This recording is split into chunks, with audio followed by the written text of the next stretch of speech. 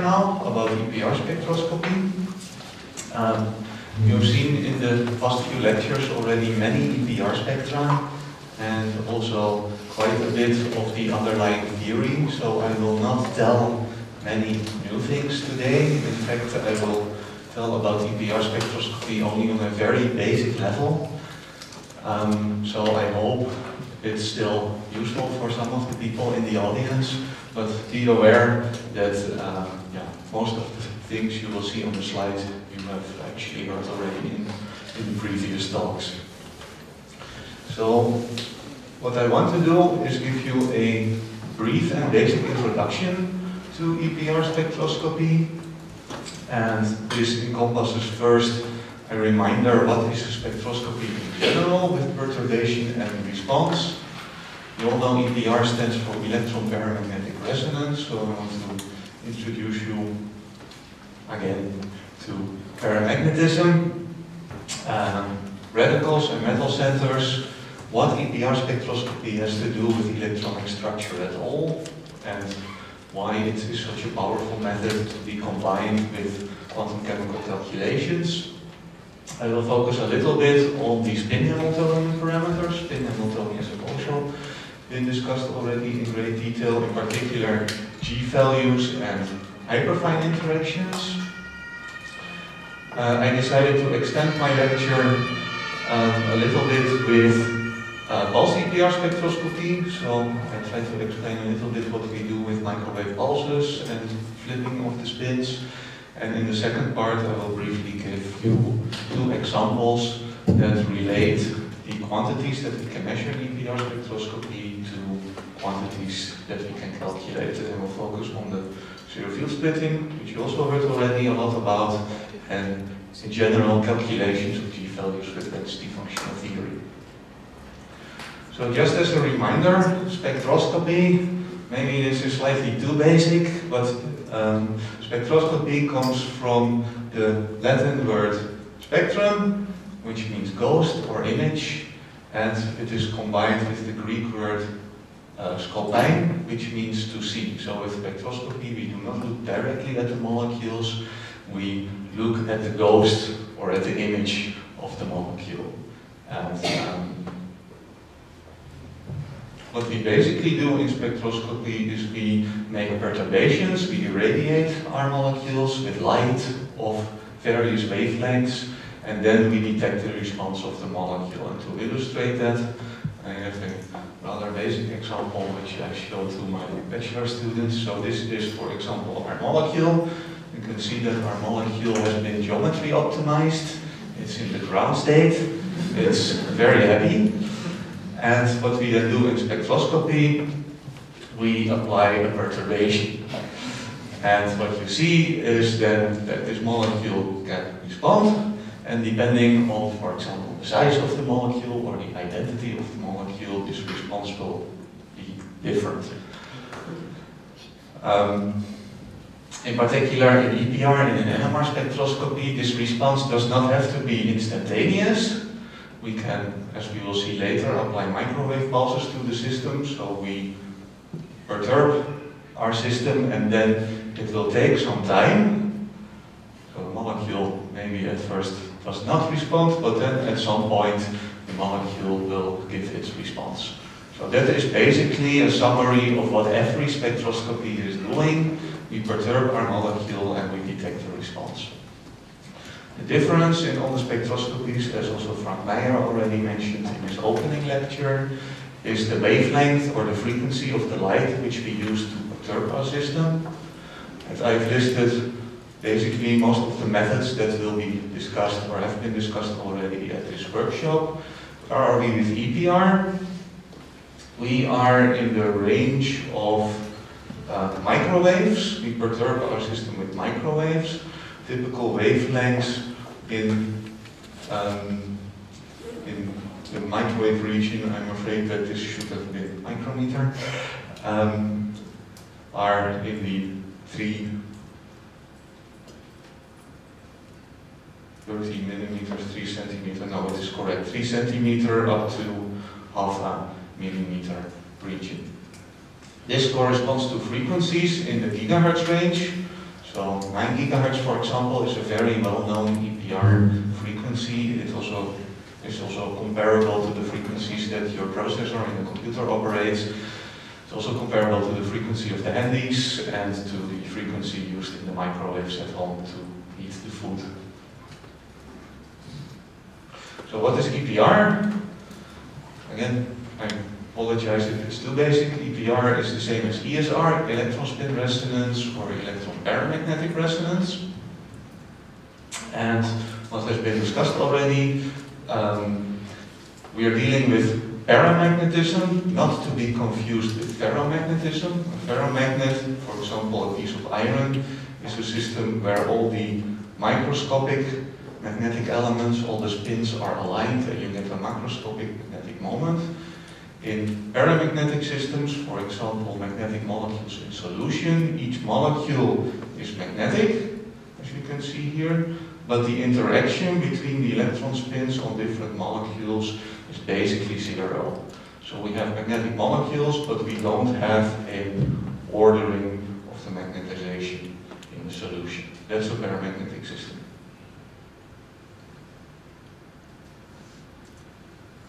Spin is of course a general property of most of the elementary particles, particularly also of the electron. The electron is a spin one half system, can also be thought of a uh, little magnet with a north pole and a south pole.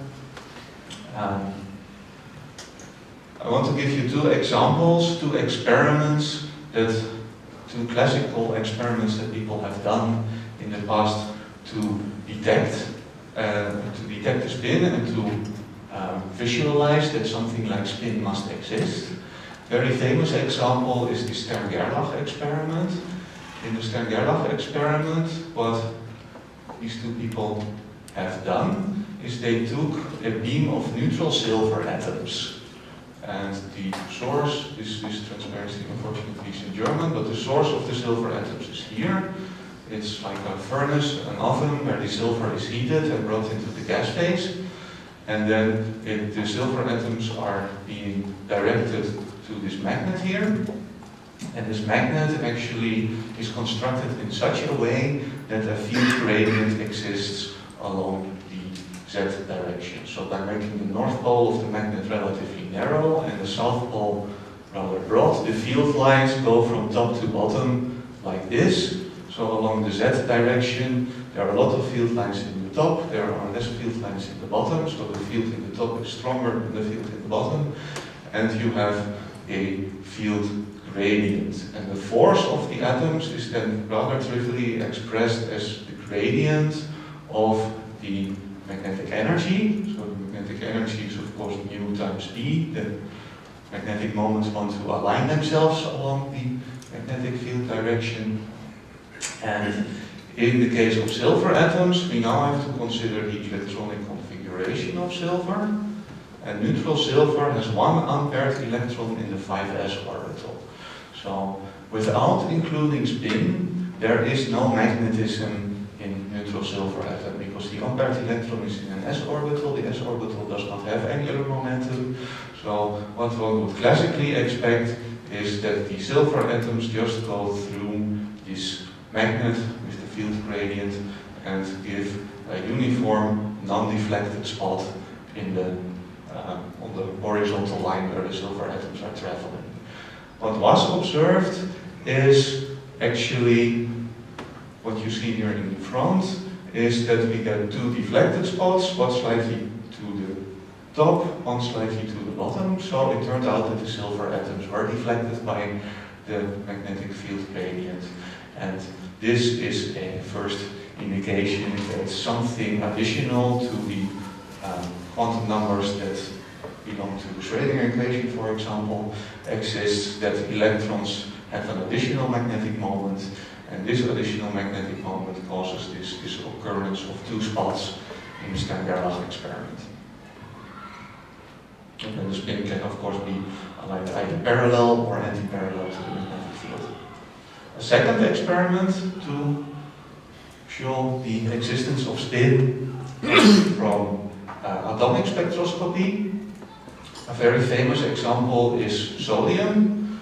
Sodium has this electronic configuration, 1 unpaired electron in the 3s orbital. It's just an atom, so one expects the 3p orbital, so the, the, the 3p shell, which is of course empty, that all the 3p orbitals are degenerate.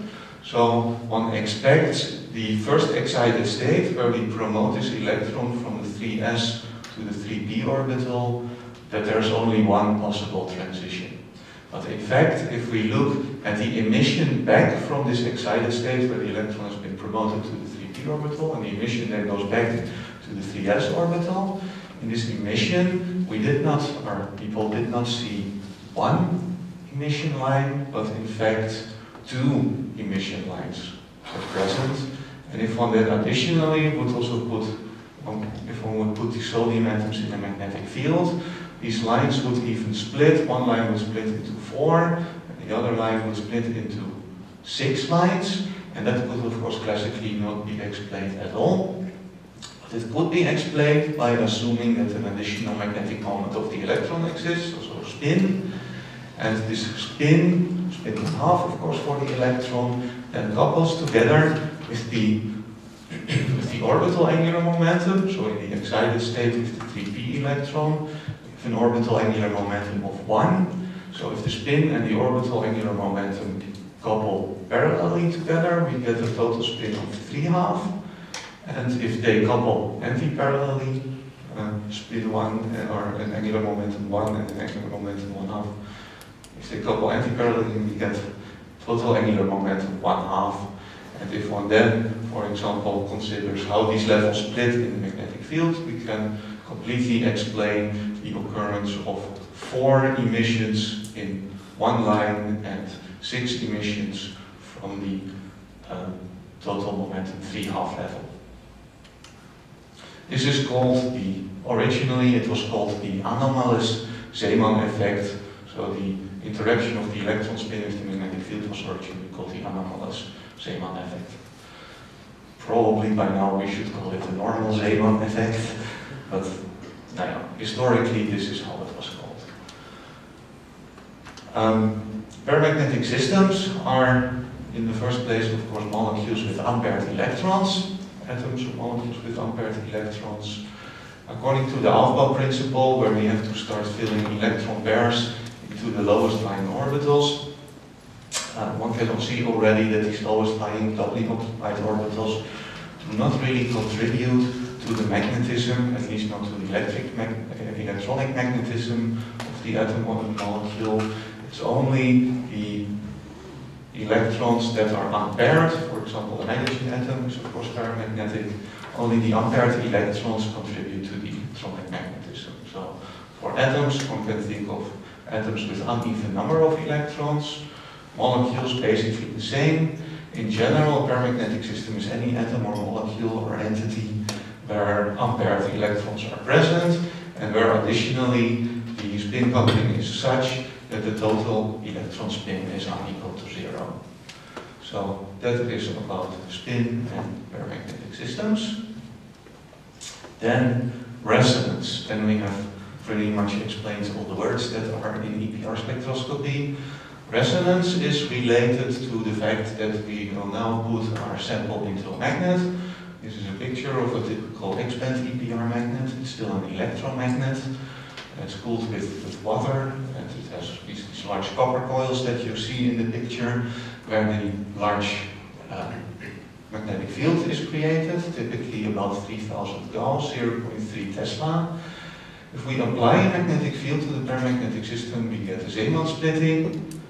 As you all know, you get the possibility of aligning the electron, if you have a spin one half, the electron can be parallel or anti-parallel to the magnetic field, and the Zeeman splitting is linear with the strength of the magnetic field. So the larger the magnetic field, the larger the Zeeman splitting.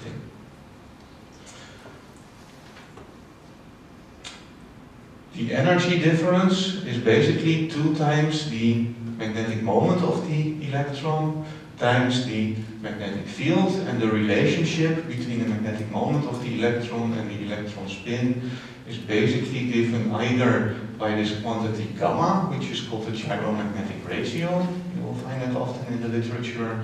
And also, if we split off, if we split off the Bohr magneton, we have here the G value.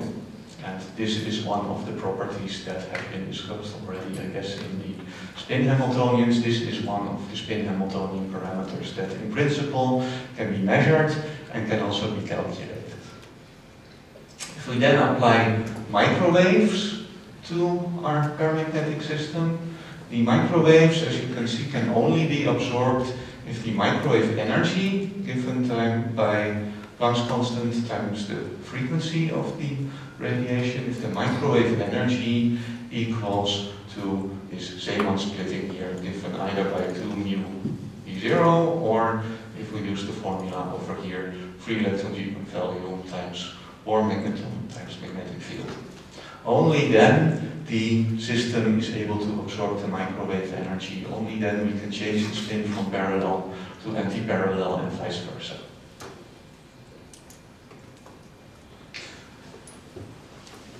So I've now explained to you all the words that are in EPR. And now the question is, of course, what can, uh, what can one do with it? To which systems are uh, EPR spectrometers generally used. I gave you here a few examples.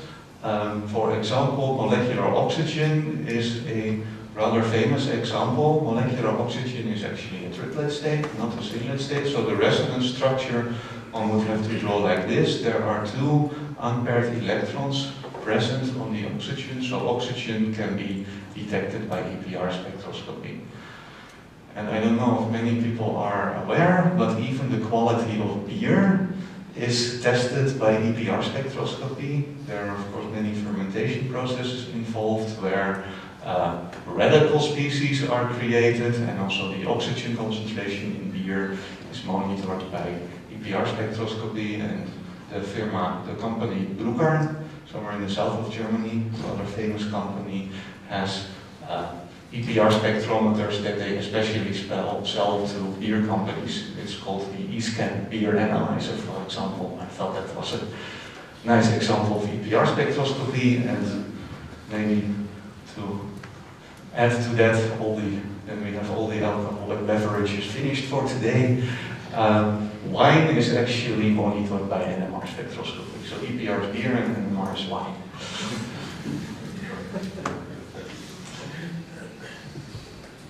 Um, one can use EPR spectroscopy before we go slightly more into the detail. One can use EPR spectroscopy also on a phenomenological level. If we have this very basic redox reaction, we have two reactants, two edox, A and B, we bring them together. One electron hops over from A to B, so we are left after the reaction, can be in equilibrium even. After the reaction, we have a cationic A species and an anionic B species. If one electron hops over from A to B, that means that if A and B have an even number of electrons, then A plus and B minus both must have an uneven number of electrons. So in this very simple one electron redox chemistry, there's always EPR species involved. In the example that is given on this transparency, we actually used zinc chlorin E6 and benzophenone. This is a nice system because it can be triggered by light. If we put also our EPR tube in the magnet, and if we additionally then put a lamp in front of the magnet to illuminate the sample, we can just switch the light on. For example, at 220 Kelvin, and uh, we can just watch our EPR signal grow in very quickly when we switch on the light. And of course it saturates at some point if you have an equilibrium reaction. Uh, if you switch the light off again, you see the EPR signal disappearing again. So the forward reaction is driven by light. If the light is switched off, the reaction goes back and the EPR signal disappears. If one starts to freeze the sample, one can study, I guess, in a very expensive way the kinetic of these reactions, or in this case, actually the kinetics of the uh, or the viscosity of the solvent. Uh, when you lower the temperature, you see that everything slows down. If we switch the light on, the time constant is much slower. The radicals grow in uh, slower. The solution is almost frozen, gets more viscous, so A and B have difficulty to find each other. One can, in principle, determine rate constants uh, by just using EPR spectroscopy on a phenomenological level. A more powerful example, related also more to theory, is just the electronic structure of radical species. Uh, one of the projects that we have performed in the past concerned cysteine radicals. In many radical enzymes, amino acid radicals play an important role as intermediates of the reaction. And in general, one would like to know where the unpaired electron in a molecule is. If you have molecules with unpaired electrons, then it's a very important question. Alternatively, slightly more correctly, is what is the wave function associated with the unpaired electron? And the reason why this is so important, if you remember the Aufbau principle, we have all our doubly occupied orbitals which are low in energy, and then we have eventually our singly occupied orbital which contains the electron which is associated with the highest energy. This electron with the highest energy is in general also the most labile electron of the system. So if one electron has to go away, it will be the unpaired electron. If one electron has to come, if the molecule gets reduced, it will be added to the orbital that already contains the unpaired electron. So in general, this unpaired electron is also the most reactive electron in the system. And additionally, it is the only electron that contributes to the magnetism. So and this is one of the main reasons why EPR spectroscopy is so powerful. In EPR spectroscopy, we generally do not see all the paired electrons, for example this one in the CO bond.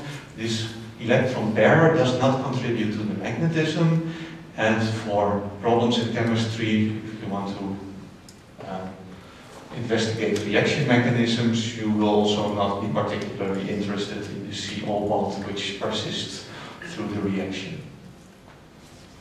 So the question of how to locate the unpaired electron is a very general question and EPR spectroscopy is a very powerful tool to help with that. And in this particular case, the cysteine radical, it turned out that the unpaired electron is almost exclusively in a p orbital on the sulfur atom, and that one of these lone pair orbitals here is very nearly degenerate with the singly occupied orbital. These are two example EPR spectra. We have seen the theory. If you put an electron in a magnetic field, you get the Zeeman splitting, you can make transitions. If that would be the complete story, then EPR would be pretty boring and all EPR samples, uh, all samples would give the same EPR signal. You see that this is definitely not the case. If I measure EPR on this radical here, called the PNT radical, we actually see a very, very rich spectrum with many signals, many lines. Whereas if I burn a wooden match, for example, and if I put the ash in the ashes in my EPR tube, I just see a rather broad and structureless EPR signal that corresponds to carbon radicals. Um, the reason why these spectra are so different, we will get to that in a moment. That is of course the hyperfine interaction, not only the electron has magnetic moment, but also the protons. For example, the protons on this PNT radical have magnetic moments and like we all know, I guess everybody or most of you played with magnets when you were a child. Two magnets feel each other, also the electron spin and the proton spin, they interact with each other and this is called the hyperfine interaction. So why is EPR so useful? If you ask yourself the central question, can we understand a chemical reaction? Then the answer, I guess, would be if you want to fully understand the chemistry, the reaction, one needs to know where the, where the active electrons are, and the electronic structure tell us where they come from and where they are going to. And uh, just to make a little bit of advertisement for the Institute, these are the three methods that, that I occupy myself with most of the time. Raman spectroscopy, of course, quantum chemistry, and EPR spectroscopy. So let's now dive a little bit more into the theory. On the one hand, we have our experiment, which I already showed you with the Zeeman splitting. On the other hand, we will now have to go through some equations. The magnetic energy is, of course, as already said, uh, given by the dot product of the magnetic moment times the magnetic field, which is just a mathematical translation that the magnetic moment prefers to be parallel to the magnetic field. If mu and b are parallel, this, this dot product is maximized with the minus sign in front, the energy is minimized. So this is just the mathematical translation that magnetic moments want to be parallel to the magnetic field. Magnetic moment and the spin are related by this, this, this g value. In this case, it is written for a free electron. The g value for the free electron is called the I can't help it, the free electron G value. And if one puts that in a magnetic field, the Hamiltonian to describe that system is given here. So mu and s are linear. We just plug this into the Hamiltonian. We exchange the magnetic moment for the spin. That's the electron-Zeeman interaction. And this leads to the Zeeman splitting given by this formula here. And pictorially, it's uh, given on the left side.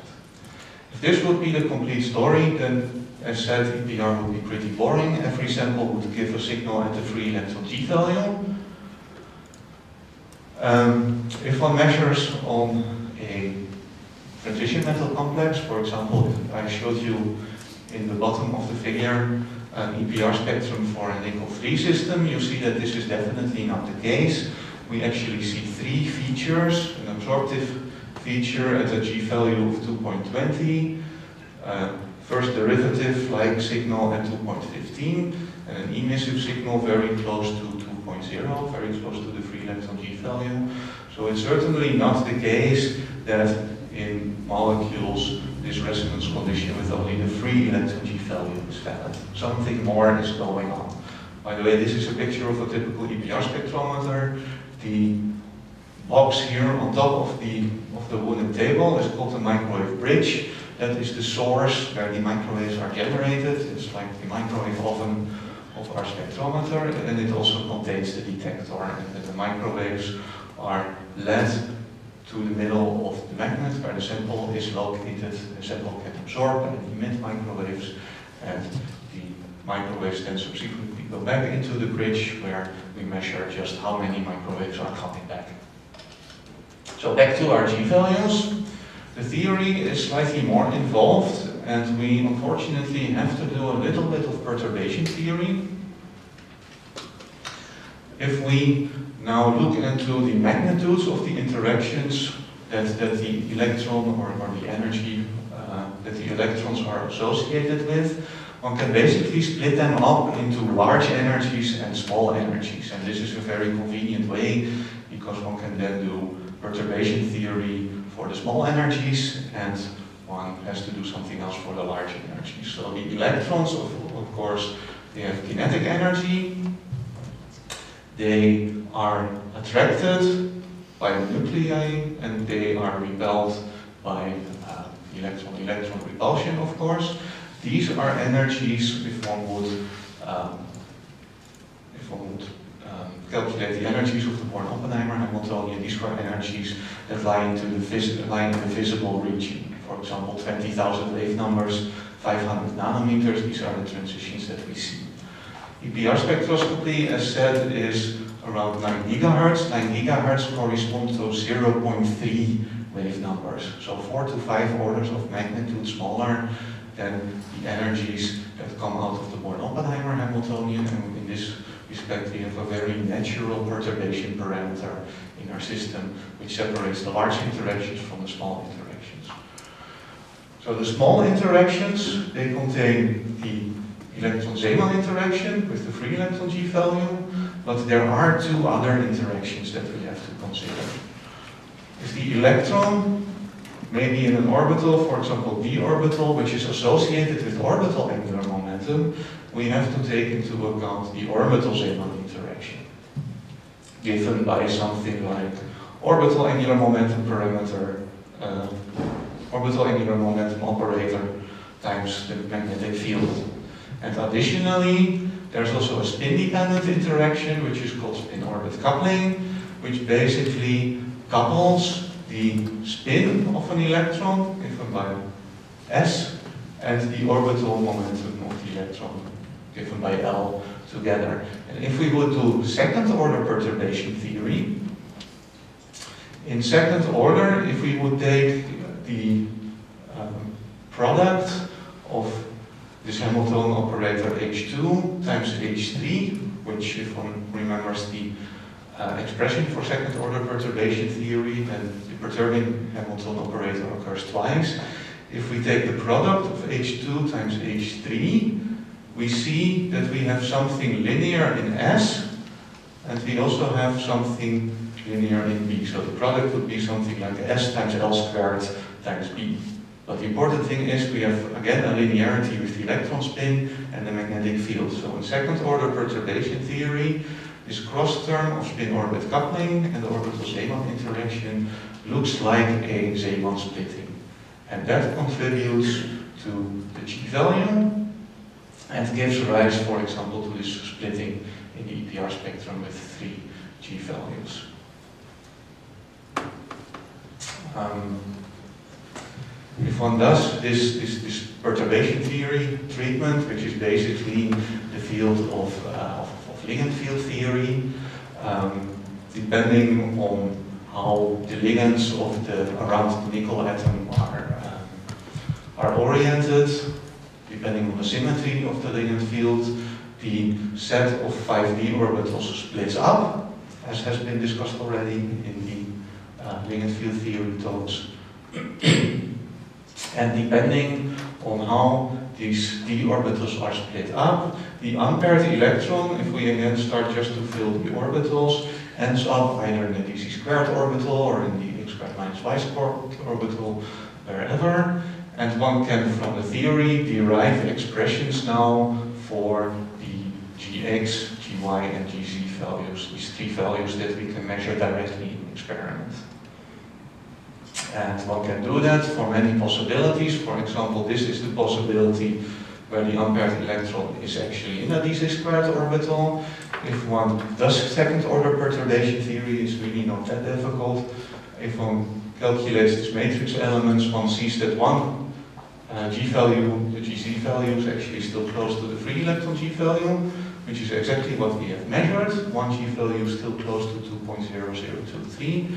And the other two G values, they are shifted away from the free electron G value. So if one measures an EPR spectrum like this, and if one has some experience with ligand field theory, again, ligand field theory is a very powerful tool just to understand what is going on in your system.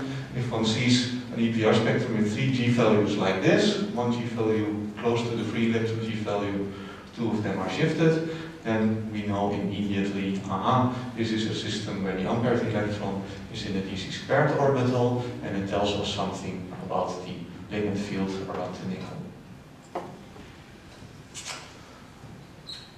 Right, this was the expression for, the general expression for second order perturbation theory, when you see that this perturbing Hamilton, Hamiltonian comes in twice, and the additional term that comes from H2 times H3.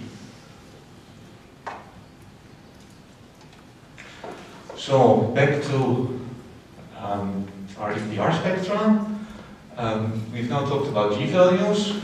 Um, what we see here in these EPR experiments are spectra that are more complicated because of another interaction, in particular the hyperfine interaction.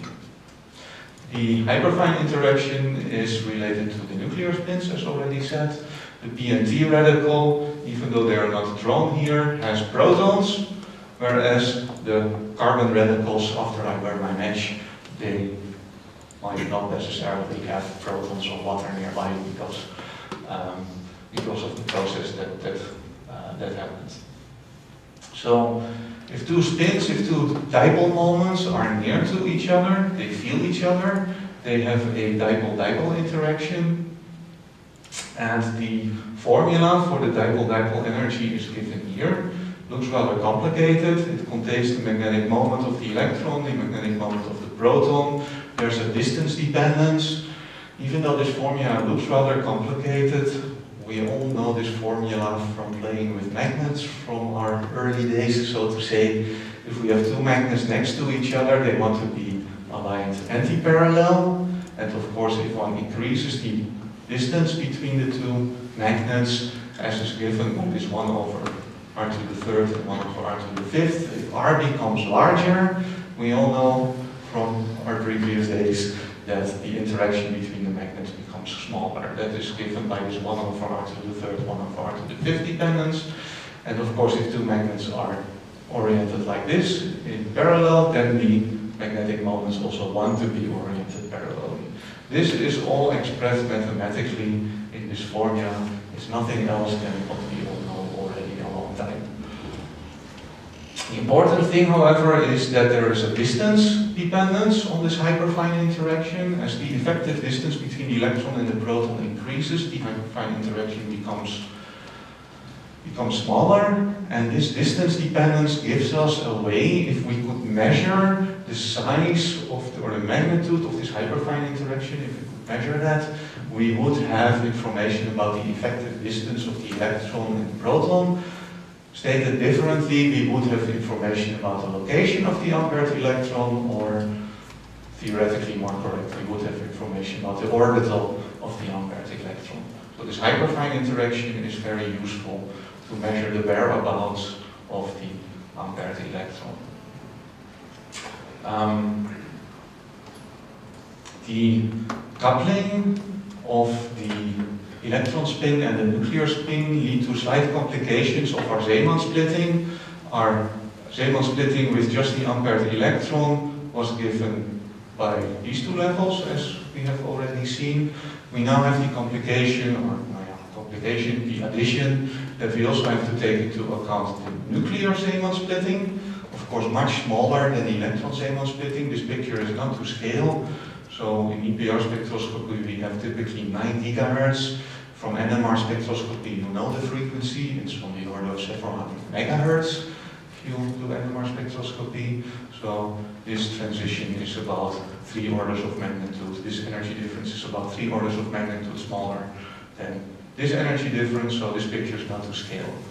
And additionally to the nuclear Zeeman interaction, we have the hyperfine interaction that on the top brings the two levels closer together, and in the bottom part of the picture, actually, if one goes through the mathematics, it pulls the two levels away from each other. If we then consider how many EPR transitions are possible, then one sees that uh, depending on how many protons or how many nuclear spins are, are present, the uh, single EPR resonance gets split up. For example, this is for the hypothetical case of an electron spin one half and a nuclear spin two. The EPR spectrum that one would measure would look something like this. In this case, there are five EPR allowed transitions instead of only one.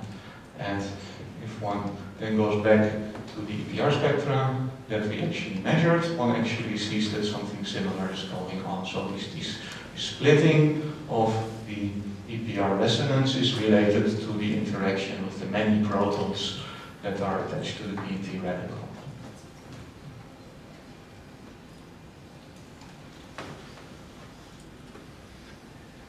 What can one additionally do with EPR spectroscopy? So EPR is a rather versatile tool, a versatile spectroscopy. EPR spectroscopy, I hope to have shown you already that we can study dynamics and kinetics. We can determine in principle rate constants just by phenomenological use of EPR as a diagnostic method. We can determine information about electronic structure, distances, as already explained, also orientations. Remember that the hyperfine interaction, the dipole-dipole interaction has an orientation dependence. Like this, the spins want to be anti-parallel. Like this, the spins want to be parallel, so there's distance information in EPR spectroscopy. And the modern EPR spectroscopist uses EPR spectroscopy in a pulsed form. So the most classic EPR experiment that one can do is a pulsed EPR experiment where actually two microwave pulses are irradiated and the sample then eventually gives its response indicated in yellow and this is called the echo. We will get to that in a moment. EPR spectroscopy is a spectroscopy that is typically a time resolution on the nanosecond time scale. So it's quite fast, but it's of course unfortunately not as fast as the fastest optical methods that are available. But if you have reactions that are on the order of nanoseconds or slower, one can in principle study them by EPR. If they are faster, no chance. So we can do EPR spectroscopy, of course, at higher magnetic fields with increased Zeeman interaction, which increases our spectral resolution. We can also measure relaxation times of the electron spins. So if we give microwave pulses to flip the spin, to move them away from the large magnetic field, we can measure how long it takes for the spins to go back by themselves. These are called relaxation measurements. There are two time constants called T1 and T2 that are particularly important in that respect. We can measure them. We have the possibility to measure these hyperfine interactions, very important for the electronic structure. There are a multitude of me uh, methods available. You will find in the literature these acronyms, so I don't want to bother you too much with the details of the ball scheme, but I just want to show you the acronyms. In the literature you will often find terms like ESEEM or HYSCORE spectroscopy. So these are post-EPR techniques. And a few slides later, I will tell about Endor spectroscopy. Endor stands for electron nuclear double resonance. So we apply in this Endor technique not only microwave pulses to flip the electron, we also apply an NMR pulse to flip the nuclear spin directly. And because the electron spin and the nuclear spin, they are coupled together by this hyperfine interaction, the flipping of the nuclear spin is partially felt by the electron spin, and vice versa, if we flip the electron spin, the nuclear spin also knows what's going on, because they are coupled. So by doing this, this hybrid EPR NMR experiments, we can actually measure the, the magnitude of the hyperfine interaction. There's a triple resonance experiment that I don't go into detail, but I just want to mention it, where we can in principle determine signs of the interactions, whether they are positive or negative. Another field that is very important if you do not have one unpaired electron, but more unpaired electrons, for example in a diradical, if you have two unpaired electrons, like in oxygen, for example, no, bad example. If they are quite far away, then one can, in principle, measure the distance between two electron spins. For very strong hyperfine interactions, think for example of a transition metal, where most of the unpaired electron density usually is in transition metal complexes, the hyperfine interaction of the unpaired electrons with the nuclear spin of the central metal can be measured by a technique called ELDOR-detected NMR. This is a good method for measuring very strong hyperfine interactions. I'm going to bother you now with, again, some formula. They are not in the script. I will try to go over them very quickly just to tell you about the mathematics of EPR spectroscopy and what happens if we put a spin in a magnetic field and then if we apply microwaves. So uh, from electromagnetism, we actually know the equation of motion for a magnetization in a magnetic field. If I call the magnetization capital M, if I put a system which has a magnetization in a magnetic field, then the magnetization starts to move, given by this, this first time derivative, and the way it's moving is given by this equation of motion. It's actually given by vector product of the magnetization itself, vector product with the magnetic field. So if I draw this pictorially, if I have my magnetization and my magnetic field not necessarily parallel, then my change of the magnetization, dm, is actually perpendicular to m itself and also perpendicular to the magnetic field because of this, this vector product here. That means if dm is perpendicular to m and b, that m actually makes a precession, a precession motion around the magnetic field. That's what magnetization does if one puts it in a magnetic field. We can then determine the frequency by which the um, magnetization is rotating. This is again the equation of motion. We can we have to go through a little bit of mathematics. We have defined here this in red, this important quantity r, and we can now look at this, this rotation, which I call phi, and if I consider the, uh, yeah, the infinitesimal change in phi, so d phi, I can write that mathematically as the infinitesimal change dm divided by this, vector r. This is basically the definition of, of radians, and one can set up several more equations. For example, this quantity r, just from goniometrics, r is equal to the length of m times the sine of this angle alpha, and if I just write the vector product out, I get something like this. I can then move my dt from the left side of the equation of motion to the right side. I just write it slightly differently. So dm equals then gamma m e dt sine alpha, where I substituted the vector product for this expression. And then uh, I substitute 2 and 4 into equation 1 to derive an expression for d phi. And one sees many properties, many, uh, many quantities drop out. The sine alpha drops out, the magnetization itself drops out. And d phi equals just this, this quantity gamma times the magnetic field times dt. If I move dt from the right to the left, I have my precession frequency, how my angle is changing with time is given by a constant. Which constant is that? It's the gyromagnetic ratio times the magnetic field. This is the frequency with which the magnetization is precessing. It's precessing linearly with the magnetic field, and it's given by the product of the magnetization, uh, ratio and the magnetic field.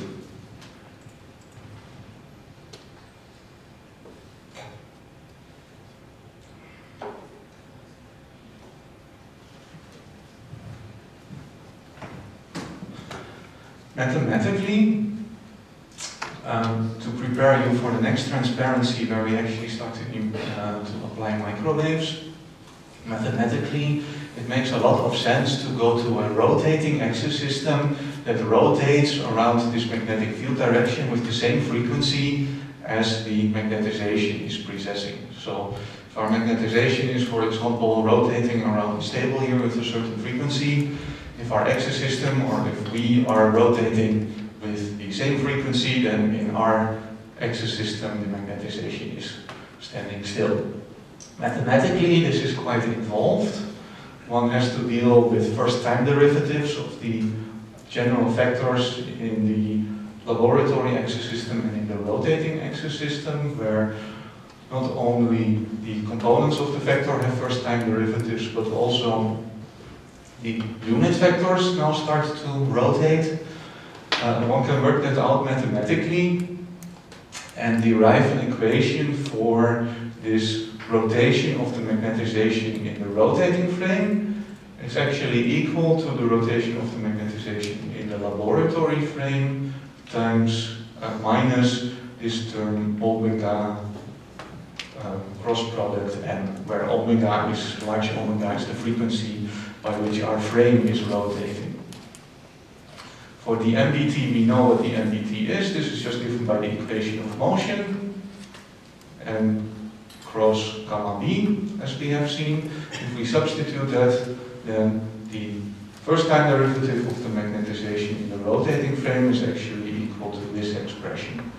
And one sees if the frequency by which a rotating frame is moving, if large omega is equal to small omega, then this term here becomes zero this is just a mathematical translation that if something's rotating and we are rotating along with it, then it's, in our observation, it's standing still.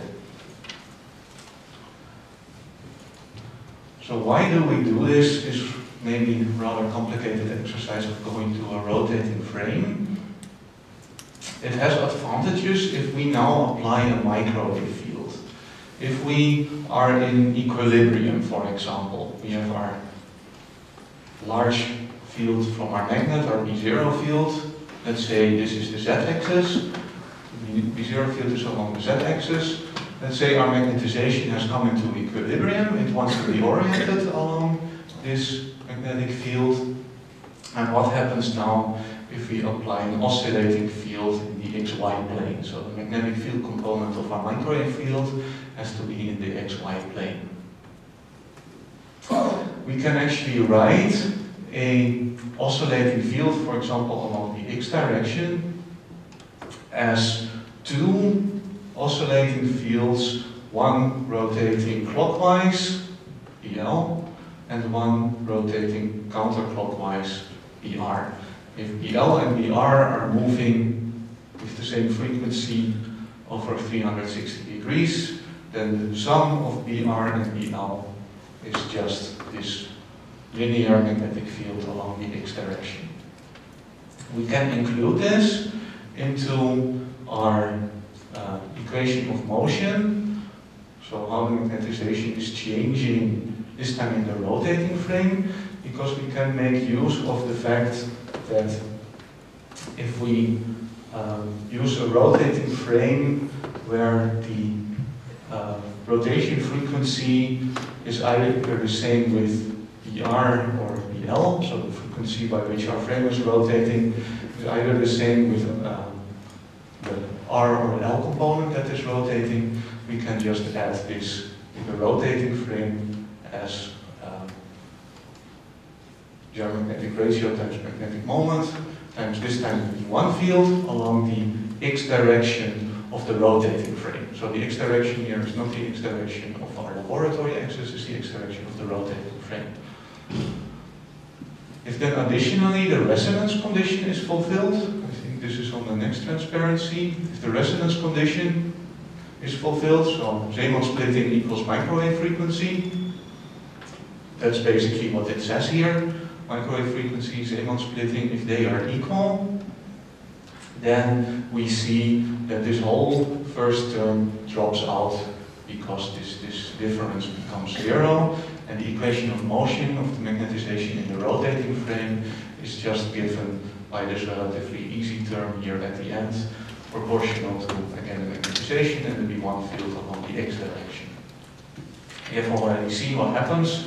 The equation of motion is one where magnetization rotates, rotates around the magnetic field direction. In this case, the B1 is along x. So in our rotating frame, our magnetization makes actually a precession motion in the YZ plane. And that's basically what happens if we apply microwaves to the system. If we now give microwaves not continuously but in pulsed form, we can, for example, start applying our microwave and the magnetization is still in equilibrium along the z-axis. Then we apply our microwaves according to the equation of motion. M starts to precess from Z to Y. And once M has reached the Y-axis, we just switch off our microwaves again. So we turn them on only for a period of time until the magnetization has rotated by 90 degrees and then we just switch it off. This is called a 90 degree pulse. So if one goes through the mathematics, it might look somewhat involved, but one goes through it, it's also not that difficult. Uh, if you apply if you apply the microwaves for a defined period of time, you can accomplish defined rotation angles of the magnetization. So 90 degree pulse um, pictorially looks something like this. We have a time axis, we at some point switch on our microwaves, we wait a little bit, then we switch them off again. And if we do that uh, for a long enough time, we can actually flip our magnetization from Z to Y. We can also do that with a pulse that is two times longer. If the pulse is two times longer, we have a so-called 180 degree pulse. We rotate our magnetization from Z to minus Z. In this way, we can manipulate not only the electron spin, but in principle also in NMR spectroscopy it works exactly the same. One can uh, induce changes of the magnetization and we can basically put the magnetization in any direction that one wants. There's a slight complication because after we switch our microwaves off, for example in the 90 degree pulse, when the magnetization is then along Y, then the magnetization is no longer in equilibrium. So if I have moved my magnetization from Z to Y, it then just starts to precess around the Z direction because remember we still have our strong magnetic field along the Z direction. So the magnetization is just starting to precess around the Z axis. However, microscopically, since we're dealing with a paramagnetic system, some of the spins might go slightly faster depending on how molecules oriented in the magnetic field. If we have a solution, then all orientations are present. The precession frequencies might be slightly different. So after switching off the pulse, when the magnetization goes from Y to minus X, there might be fast spins indicated in green and there might be slow spins indicated in orange. So the, um, the microscopic um, phase coherence is starting to become lost, so to say. The fast spins just go faster. One can think this of, of runners that are starting to run counterclockwise. There are fast runners that yeah, become ahead of the slow runners. So the micro, on the microscopic level, there is a loss of phase coherence. If one detects the signal, one actually sees a oscillating signal that, looks like this. This is typically a signal where we detect a magnetization in the horizontal plane, for example along the minus y direction or the plus y direction. Then one sees this, this, this oscillation, which is a result of, of this, this precession motion but also one sees that this oscillation is damped because of this dephasing of the fast and the slow spins. This is called free induction decay. One can play a very nice trick. One can apply a 90 degree pulse. We flip the magnetization into the xy plane. It starts to dephase. And what we then do is we apply a 180 degree pulse. We have seen a 180 degree pulse flips the fast, the fast spins, my right arm, and the slow spins, both by 180 degrees. And now I have to do something impossible. So the fast spins go 180 degrees here, and the slow spins go 180 degrees in the other direction. It's basically like flipping a pancake or blowing a whistle and telling all the runners, now you have to run in the other direction.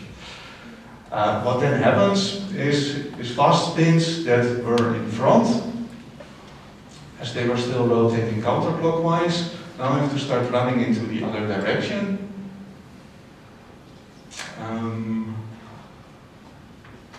actually, they are running here in the same direction. I'm sorry for that.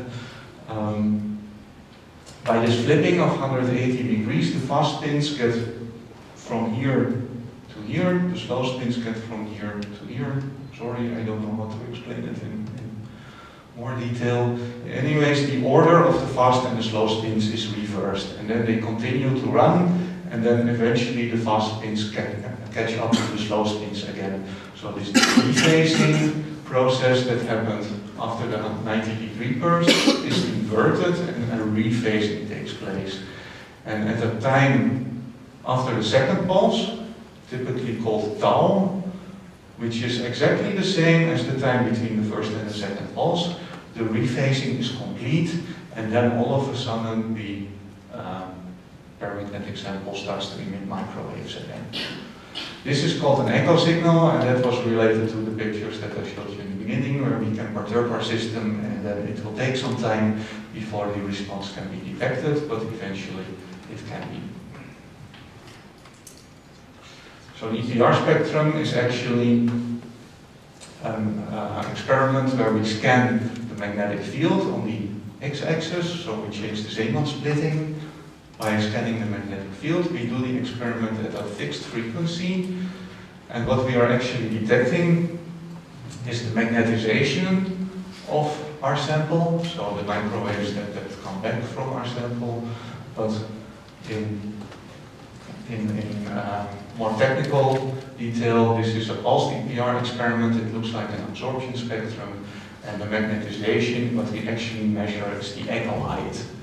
So this, this echo, this spontaneous emission of microwaves by the sample are just detected by the microwave bridge and the intensity of that, the amplitude is plotted on the vertical axis and that's our EPR signal. We see the um, EPR signal in this experiment has only one resonance, so the resonance condition is only fulfilled if the microwave frequency equals the same as.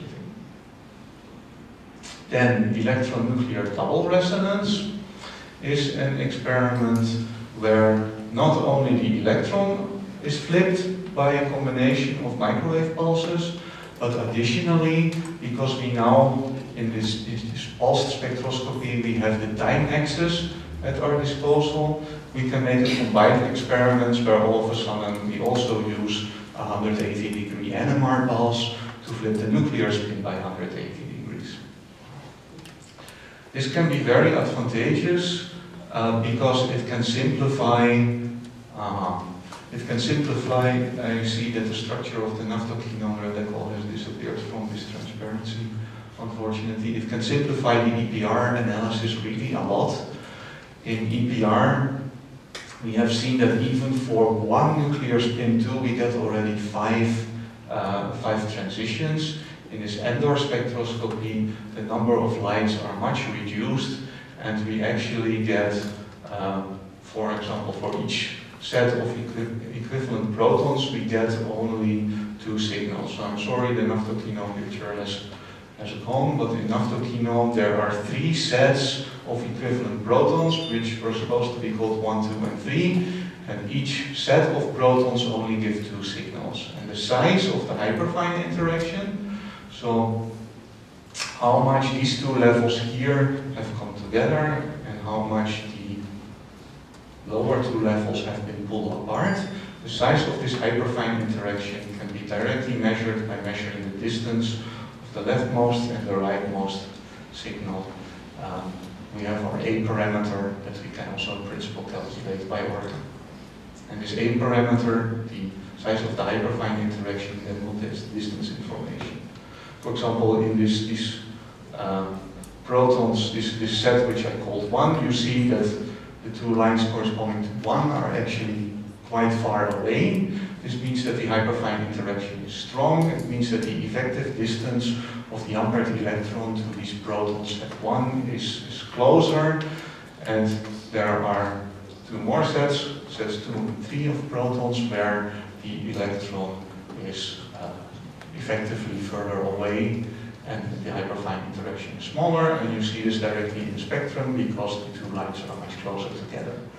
So we have the possibility experimentally to measure the hyperfine couplings directly, just like with G values. So now back to theory. I'm now at the point where I want to discuss some examples. I have not talked yet about zero field splitting. Just like with G-values and hyperfine couplings, zero field splitting parameters can in principle also be measured and, and uh, derived directly from our EPR experiment. We have seen already pictures like this where uh, even in zero magnetic field, for example, for a spin 1 system, this leads to a splitting of the levels given by two parameters, D and E one can, uh, depending on the spin multiplicity and the size of D and E, one can eh, actually make pictures like this. These have also been already discussed. And from an EPR spectrum measured on a triplet state, one can eh, actually directly determine these parameters D and E. I want to show you a little bit what we can learn just by measuring on triplet states in, in organic systems. And maybe, even though people have talked about this already before, I just want to remind you what zero field splitting is, um, in case you uh, are not completely clear about it. I try to summarize here several definitions. first one is from Wikipedia, which I personally like very much, but which one should not use, of course, as a scientific reference. So zero field splitting, according to Wikipedia, is the various interactions of the energy levels of an electron spin larger than one half. So larger than one half, we need at least two unpaired electrons, even in the absence of an applied magnetic field. So that's quite clear. Need two electrons and the zero field splitting. This is from the book of Carrington and McLachlan, slightly more complicated. Zero field splitting. Magnetic dipole, dipole forces between the unpaired electrons remove the degeneracy of the magnetic sublevels and lead to highly anisotropic spectra in most molecules. Basically, two magnets interacting with each other. Next book, Atherton, Orange book. I don't know if some of the people here in the audience are EPR spectroscopists. This is one of the uh, one of the better books to learn in EPR spectroscopy from. Zero field splitting reflects the dipole-dipole interaction and or second order effect of spin-orbit coupling. So for transition metals, where spin-orbit coupling becomes important, then also spin-orbit coupling contributes to the zero field splitting. We will limit ourselves now for organic triplet states, where spin-orbit coupling is not so important. And lastly, I guess the correct definition from IUPAC, very short one. Zero field splitting is the separation of multiplet sublevels in the absence of an external magnetic field. So what one can learn from zero field splitting? Again, distance information. I think I go over this mathematics now slightly quickly. We have seen that already for an electron spin and a nuclear spin. For two electron spins, it's exactly the same. So this is the dipole-dipole interaction between electron spin S1 and S2 with the connecting vector R12. One can reformulate this expression, one sees that one has S1 and S2 in something that looks like a spin Hamiltonian-like Hamiltonian where we have this, this, this, this tensor quantity uh, small d. In this case we still have S1 and S2 on the left and the right side. One goes a little bit more through the mathematics, one actually sees this for the dipole interaction. The trace of this tensor, so the sum of the diagonal elements is zero. And if we do further mathematical operations, we can actually uh, replace the microscopic, so the one electron spin operator by the spin operator for the complete system.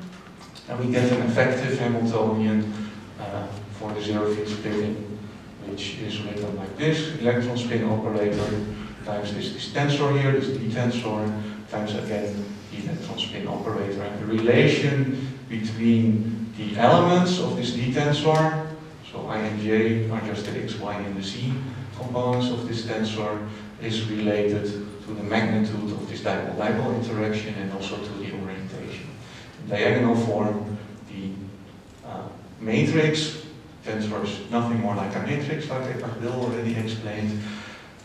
This matrix can be written in diagonal form, where we again have these, these letters D and E that Eckhard was talking about.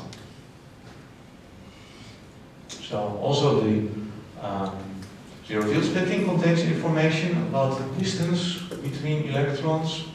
And moreover, if we measure just our EPR spectrum, indicated over here, we see that it doesn't really look like an absorption spectrum anymore. In the triplet state, one can actually have absorptive and emissive transitions. And I try to draw here, I hope I succeeded, in three possibilities. Either the molecule is oriented in such a way that the magnetic field is parallel to the z-axis of the zero field splitting to the x or to the y-axis. If we now consider the case that the triplet was created in such a way that all population ended up in the ms equals zero sublevel. So population is indicated by these dots here. You see just by looking at the picture that we actually have two transitions that are possible for B parallel to C. We have an absorptive transition that comes first, and we have an emissive transition that comes at higher magnetic field. One can puzzle this together a little bit, and if one looks at all these, these six arrows in the figure for B parallel to Z, X and Y, one can basically understand this, this, this polarization pattern, as it's called, of the EPR spectrum where we have absorptive and emissive signals. And if an EPR spectroscopist sees a triplet state like this, he knows, he or she knows that uh, this triplet state is a triplet state that has been formed in such a way that all the population ends up in the emissus zero level. And that this is not a hypothetical example I want to show you in the next transparency. This was actually a real spectrum already measured in 1979 by Marion Thurnauer. It was a triplet EPR spectrum of the reaction center of bacterial photosynthesis. Just very briefly, the light is absorbed by this, this dimer of chlorophylls. It's the last time I make a picture in black. And uh, what actually happens when the light is absorbed by this dimer of chlorophylls, one goes from the singlet ground state of the dimer to a singlet excited state. And photosynthesis is a process where subsequently charge separation, um, charge separation occurs. So what actually happens is this excited electron that we have excited by light then subsequently, subsequently travels away from the special pair and travels to this chlorophyll, then to this pheophytin, so we get a separation of, of this electron pair that we started with. By exciting one of the two electrons, and then this electron just moves to a different cofactor, and we have separated the two electrons. We can play a little bit of game with this system, for example, by pre-reducing. So we put already electrons on this final acceptor, and then the electron that wants to go to the final acceptor cannot, because we have already reduced it.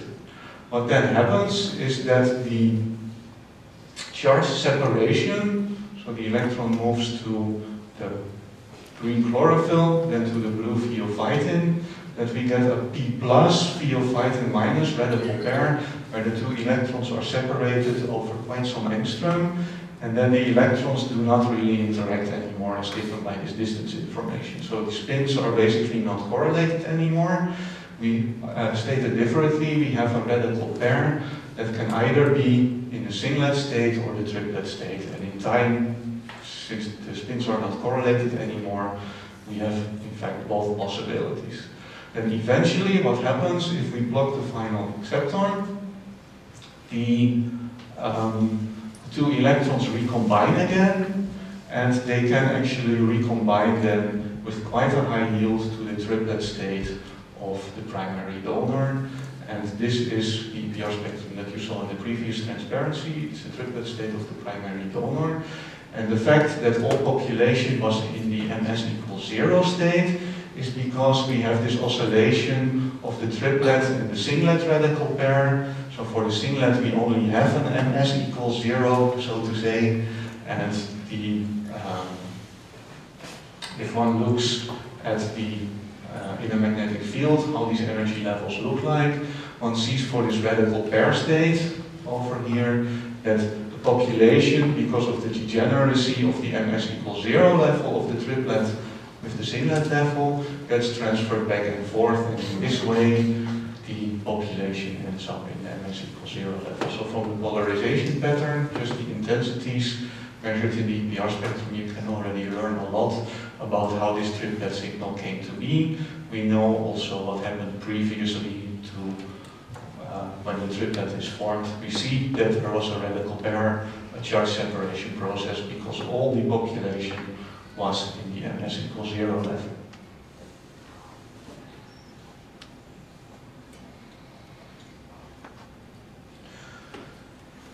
I don't remember which of my colleagues already mentioned that the sign of D and E are very difficult to determine in general.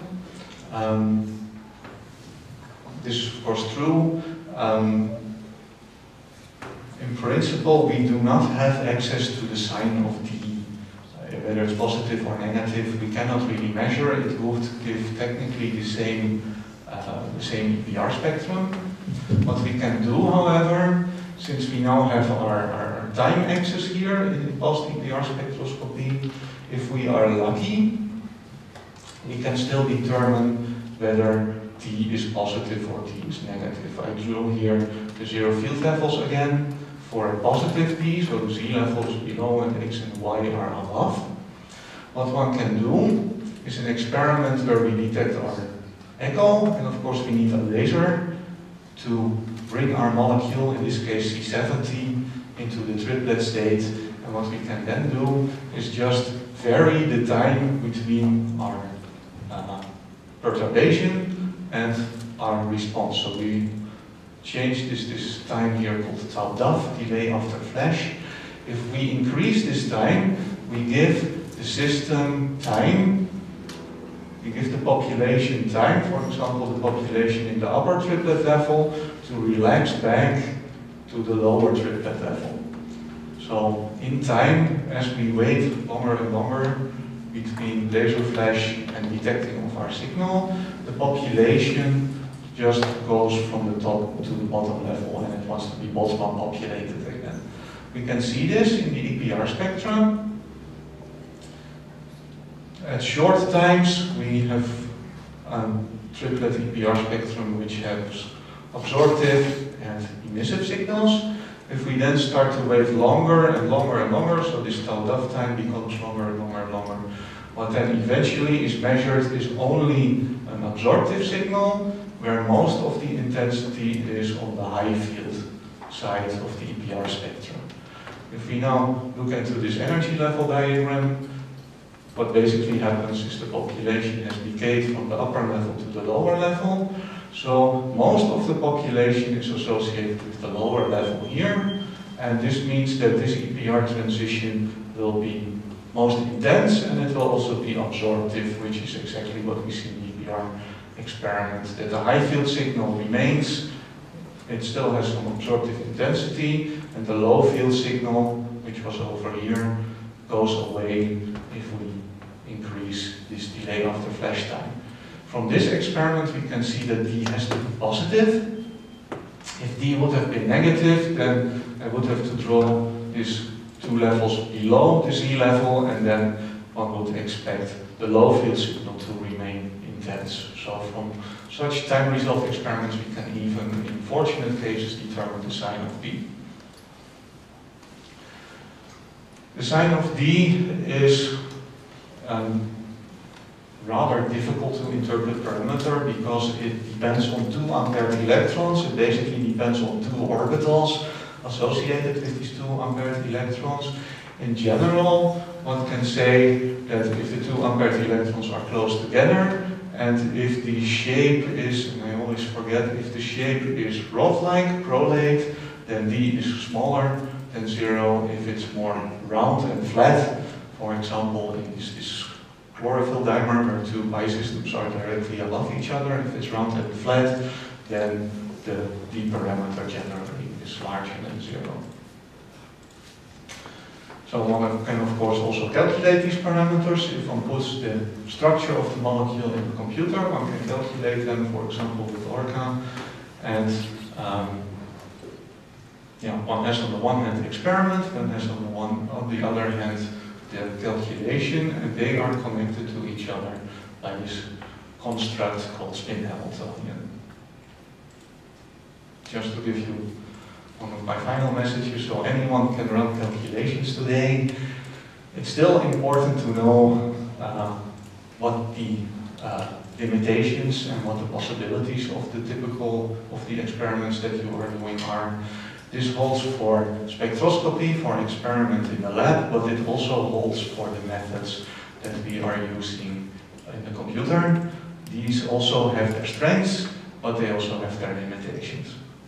And that is our jobs as a scientist to know what the strengths and also very important what the limitations of the methods are that we are using. That this is important, I want to show you my final example, which concerns calculation of g-values by DFT.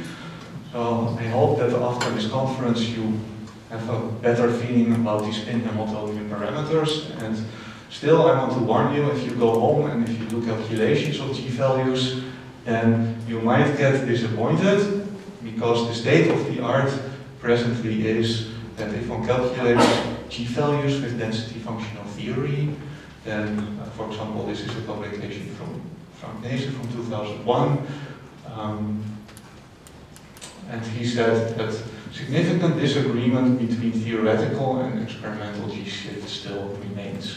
So the world is not perfect. Be aware that also the methods in the computer have their, uh, have their limitations. They are all models. I've given you here an example, particularly bad example is titanium trifluoride. Experimentally, we have measured G-shifts on the order of minus 100, minus 120 part per thousand. If one calculates this either with BP86, with B3LYP, with your favorite function also to say, you see that no matter which functional you are using, you are still quite far away from this minus 120 parts per thousand that you measure. The reason for that is, and this is, this is something systematic, it doesn't happen for titanium trifluoride, it happens for many systems, that this agreement is unfortunately found, or the agreement is not perfect, let's put it like that. So please be aware of that. Um, we try to investigate what the cause of these, these discrepancies are. We don't know how to improve them yet. I think Dimitrios Manganas is working on this, uh, on this problem. Uh, what actually happens is that these transition energies, remember we have to do second order perturbation theory for G values.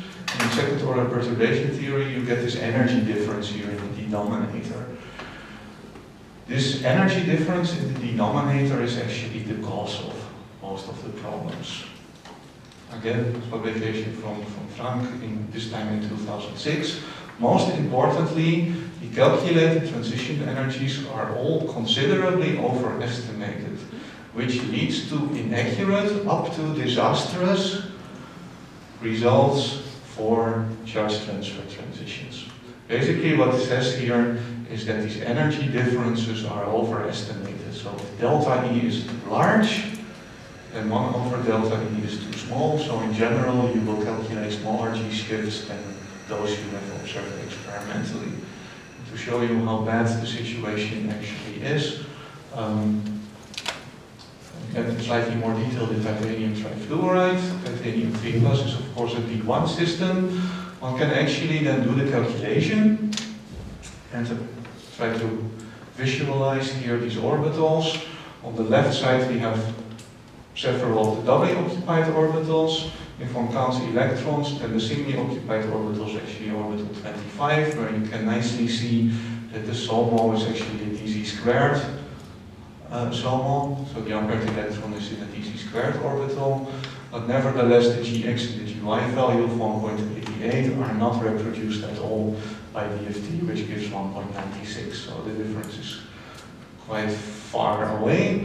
And since this is a small molecule, what we did is we tried to calculate this small molecule with several of the methods that are implemented in ORCA and that are being discussed also in the special interest lectures. We've tried to calculate this, this energy difference, particularly relevant for this, this GX and GY shift, is the energy difference between MO25 and 26. And you can see how poorly DFT, or in this case time-dependent density functional theory, is actually performing the overestimation of this energy difference is really, can be factors of five or six, even one order of magnitude. If your delta E is one order of magnitude too large, then your one over delta E is one order of magnitude too small, so you can only imagine what happens to your G value. Um, there are other methods like complete active space SCF or coupled cluster methods that give much more accurate energies and energy differences and we are presently, and with me, I, particularly Dimitrios Manganas is working on a method that allows the same uh, let's say, ease of use of density functional theory, but it will give you much better energy differences, much better G values. Um, for the moment, just to illustrate that one has to keep thinking, one cannot trust blindly the results that come out of the computer. One can correct manually by using this, this second order perturbation theory expression.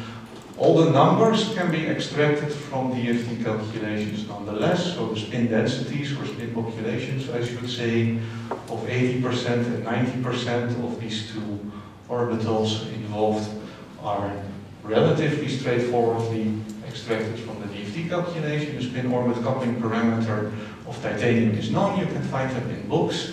And then these small calculations, calculations on small molecule give more accurate energy differences that one can just plug in. And in that case, the most accurate method is actually the de facto standard is CCSDT.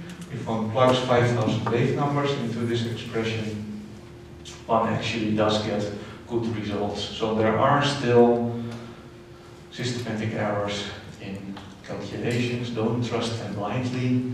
And um, yeah, use your mind, very important, and have fun with experimental theory. And um, yeah, I think I will skip the last example of blue copper proteins. It's slightly more involved and it nicely brings together EPR and optical uh, MCD spectroscopy together with calculations. Depending on the complexity of the system, one can get good agreement for G values. Like I said, presently we are working on methods to make this easier for you. At the moment, especially for G values, be careful. So, thank you for your attention.